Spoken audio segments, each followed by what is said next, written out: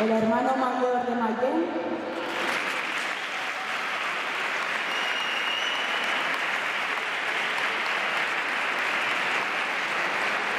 a la hermana mayor de Pradejón,